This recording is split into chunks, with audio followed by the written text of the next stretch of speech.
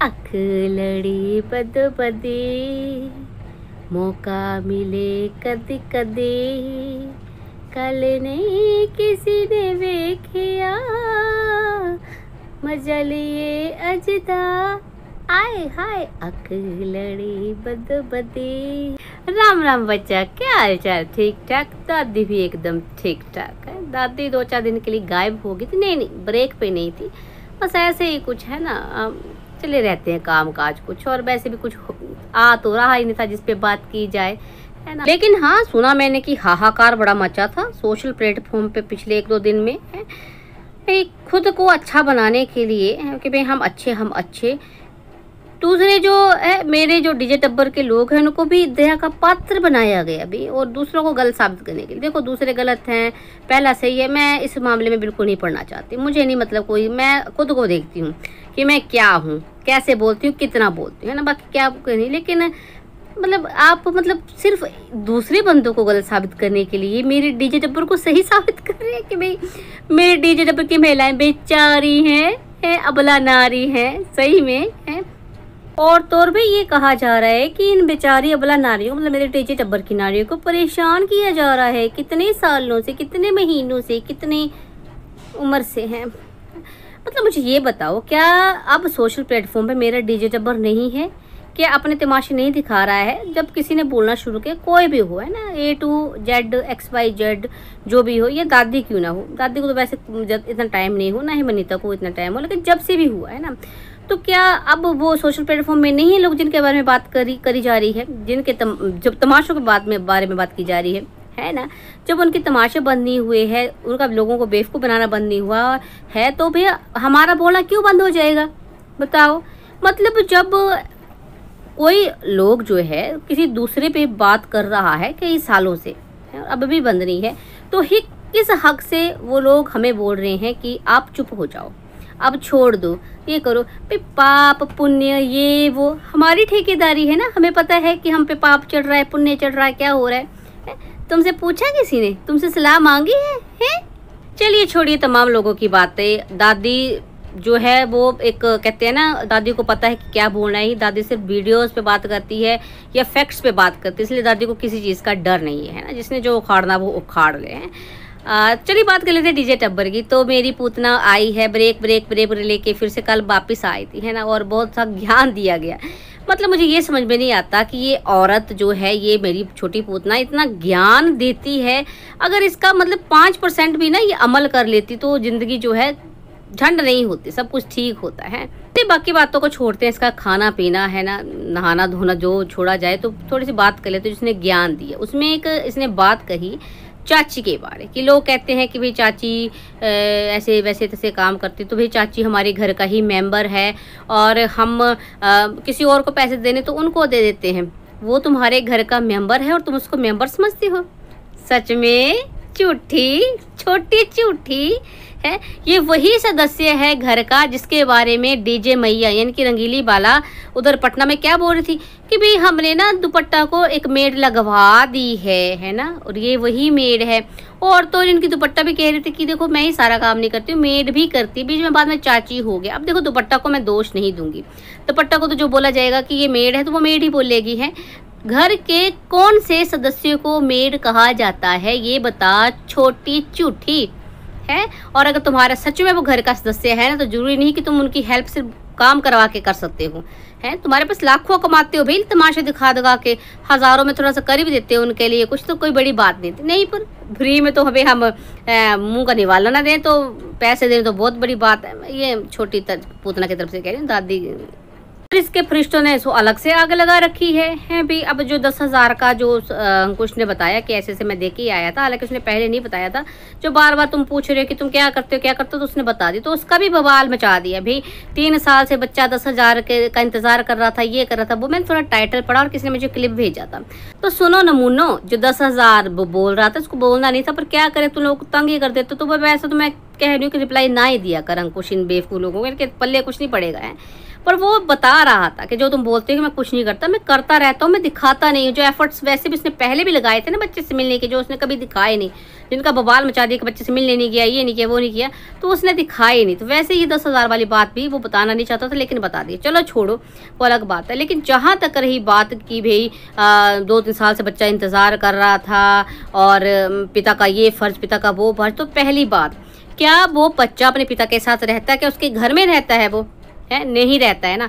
जब उसके घर में रहता, अपने मतलब उसके साथ रहता, अपने घर में रहता और फिर पिता जो है खर्चा पानी नहीं देता, उसको जो भी है ना, तब हम बोल सकते थे कि भाई देखो कैसा बाप है है बच्चे का खर्चा पानी उठा रहा। भाई, क्योंकि भाई अब जो कोड कोड खेला तुम्हारी दीदी ने शुरू कर दिया है, तुम्हारी जीजी को जो है वो सब कुछ कानूनन चाहिए।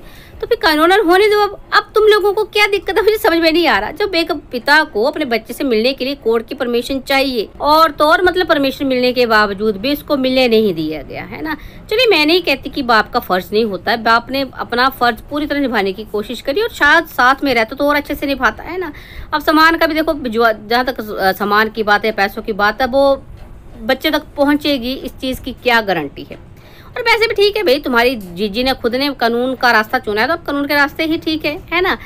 और वही बात है ना कि भाई, अगर पिता साथ रहते हुए अपनी जिम्मेवारी से मुकरता तो बात थी, पर इस तरह से बिना मतलब से अब दस हज़ार का इशू मतलब इन लोगों को बोलने का कुछ है नहीं, बस आके चाय चाय चाय चाय करनी, किसी भी बात पे चाय चाय करना शुरू कर देते हैं, ये बकवास करना। और एक डायलॉग बड़ा सुनने में मिल रहा है आजकल मेरे को कि भाई कोर्ट से पूछ के बच्चा किया था तो मैं उन लोगों से पूछना चाहती हूँ कि क्या तुम्हारी जीजी ने कोर्ट से पूछ के शादी की थी? है, या कोर्ट से पूछ के भाग के आई थी बच्चों को लेके? हम्म बताओ। इसने नहीं बच्चा पैदा किया। वैसे तो बच्चा जो है, दो लोगों है ना? दो लोगों का बच्चा है वो तो क्या दोनों लोगों में से इसने नहीं पूछा होगा कोर्ट से? तो क्या तुम्हारी जीजी ने पूछा था कोर्ट से? है, और अब देखो, बच्चा पैदा किया, नहीं किया, पूछ के, लेकिन भाई अब उसको खर्चा पानी कोर्ट के थ्रू ही चाहिए तुम्हारी जीजी को। है ना? तो अब कोर्ट के मुताबिक ही सारी चीज़ें होंगी। आप अब ज़बरदस्ती जो है वो कानून से ऊपर जाके ये नहीं बोल सकते कि इसको ये दो, वो दो। तुम्हारे किसी के भी बाप का नौकर नहीं है वो कि तुम्हारे अनुसार चलेगा। अब जो चीज़ें हैं ना वो लीगली हैं तो लीगली तरीके से ही चलेंगी। तो बिना मतलब से भाव भाव करना बंद कर दो, टीडू वाला, चिल्लम चाटा और चिल्लम चाटो से मुझे याद आया, एक कोई निदा फिदा, पता नहीं क्या उसका नाम मतलब इतनी आवारा इतनी घटिया औरत इतनी गंदी उसकी लैंग्वेज मतलब देखो ये शोखियाँ मारती हैं। ये अपने आप को ये दिखाते कि भाई हम तो गालियाँ दे देते हैं हम किसी को बोलेंगे कुतर लिया सार लिया पता नहीं क्या क्या और वो बड़ी बातों की भी गाली देना किसको नहीं आती है?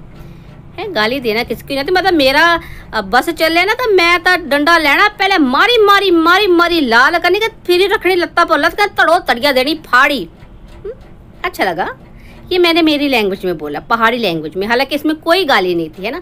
तो अपनी भाषा में तुम मतलब बड़ी बड़े चौड़ी होके जो गालियाँ दे रही हो तो वो क्या क्या साबित कर रहे हो तुम लोग कि भाई तुम बड़े महान हो?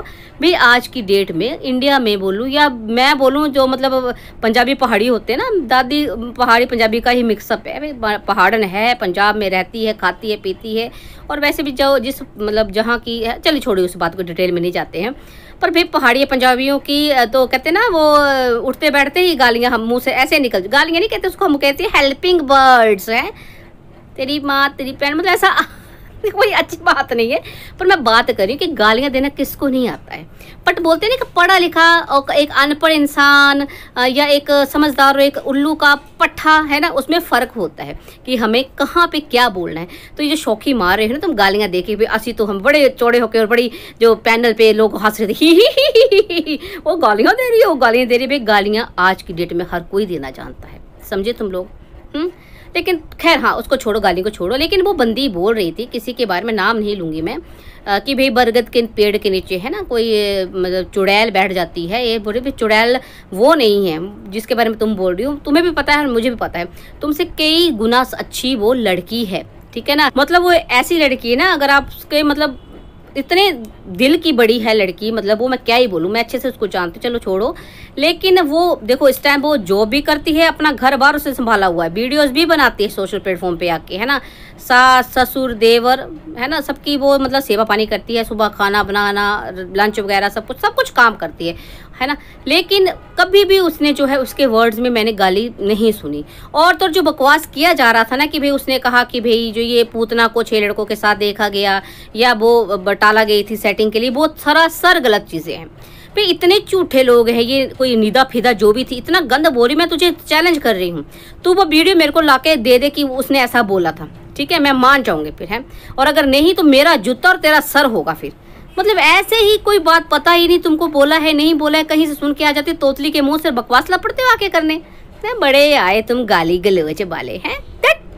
यहाँ से।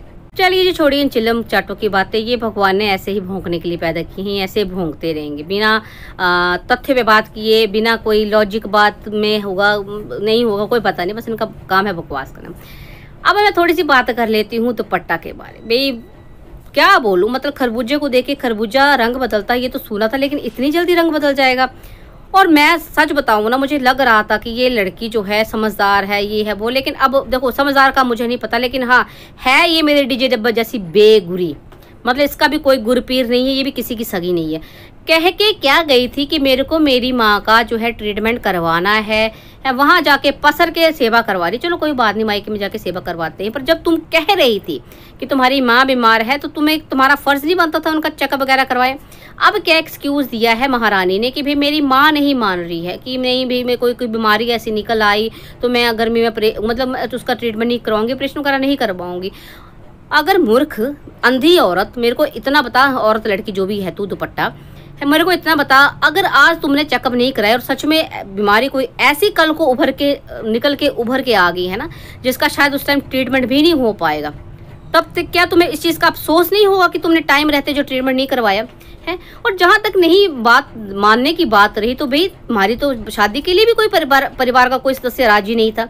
तो मना, क्या तब तुमने नहीं मनाया अपने घर वालों को, अपनी माँ को, है ना? जब भाई तुम्हारी अपनी ज़िंदगी थी, तब तो तुमने जिद के, जैसे मर्ज़ी करके मनवा लिया। तो भाई अब भी किसी की ज़िंदगी, अब तुम्हारी माँ की ज़िंदगी का ही सवाल है। ऐसा ना हो कि ये जो लापरवाही है ना, कहीं कल को मैं भगवान ना करे, मैं नहीं चाहती ऐसा कभी हो। लेकिन भाई, जब पता है बीमारी है तो उसका करवाओ ट्रीटमेंट करवाओ। है, तुम बेटी हो, ऐसे बोल के फिर वो सिर्फ़ तुम्हारी वो नंदो वाले ही ड्रामे थे तुम्हारे, जैसे वो उनका भी होता है ना, बीमारियों के नाम पर ये तुम्हारे पीपड़ पति, इनको कभी पत्थरियाँ हो जाती है, कभी हिमेंजियोमिया हो जाता है, कभी किसी को कुछ हो जाता है, वो वाली था, है। तो तुमने भी क्या शुरू कर दिया लोगों को बेवकूफ़ बनाना? और ऊपर से मुझे इस बात पे भी इसकी हँसी आई कह रही थी कि मैं बीमार हूँ, मैं बीमार हूँ, मैं चली जाऊँगी ससुराल। तो ससुराल तो तुम्हारा इंग्लैंड में है वहाँ तो फैसिलिटीज़ इतनी ज़्यादा कि उतनी शायद तुम्हारे ये बटाला लैंड में नहीं है ना? है? तुम्हें शहर में और हाँ दवाई मेरे पास नहीं है तो मैंने मेरे पिपड़ को बोला कि आ दवाई देने। अरे मूर्ख! हो तुम या नहीं, या लोगों को बेवकूफ़ बना रही हो? डिस्क्रिप्शन होता है, जिसमें ना सारा लिखा होता है मेडिसिन के नेम फ़ोटो खींच के भेज मतलब मंगवा लो, पीपड़ को बोलो फ़ोटो तुम्हारे यहाँ डॉक्टर्स नहीं है? हैं? किसी भी केमिस्ट शॉप पे वो दवाइयाँ आराम से मिल जाएँगी, हैं? कि नहीं है तो फिर दोबारा से चेक करवा लो भाई, है? या वहाँ के डॉक्टर कुछ ज़्यादा ही हैं और मतलब यहाँ तुम्हारे जो बटाला शहर है, यहाँ डॉक्टर ही नहीं है, कोई हॉस्पिटल ही नहीं है है? ठीक है भाई, तुम भी दवाई ले लो जाके और अपनी मदर का भी चेकअप करा दो, है? पर नहीं जी, नहीं, ये जो खरबूजे को रंग चढ़ ही गया वैसे भी इसको इस के ऊपर जो है जो ये, ये कहते हैं ना वो नेम फेम या सेलिब्रिटी बनने का भूत तो पहले से सवार था। अब दूर रह रही है उस ढंग से ब्लॉगिंग नहीं हो पा रही है क्या है क्या नहीं मतलब बेघुरी है ये। एक तो बात मतलब बिल्कुल पक्का होगी कि भी जो है अपने ससुराल टब्बर के जैसे बेगुरी है इसको भी अपने सवाए नहीं दिखता कुछ भी। तभी इसने जो है शादी वगैरह चलो शादी संजोगों की बात है तो अलग बात है लेकिन चलो जी तो ये वाले सारे ड्रामे चले हुए डीजे टब्बर में और उनके चिल्लम चाटो के यहाँ भी फिर लोग कह रहे हैं कि दो दिन सालों से परेशान करते हैं। डीजे टब्बर को, उनकी भाभी को भी नहीं छोड़ रहे हैं। तो भाई पूरे डीजे टब्बर ने जो है ना, खुद को जो है पब्लिक किया हुआ है। ए भाई, बकायदा ऐड लगा के, है ना, बेचते हैं खुद की ज़िंदगियों को। तो भाई, मैंने पहले भी कहा था, ग्राहक है। माल पसंद नहीं आएगा तो है ना, उसके बारे में बात की जाएगी। तो जिसको बड़ी तकलीफ़ हो रही है ना, वो कहीं जाके पेन किलर ले ले, हैं?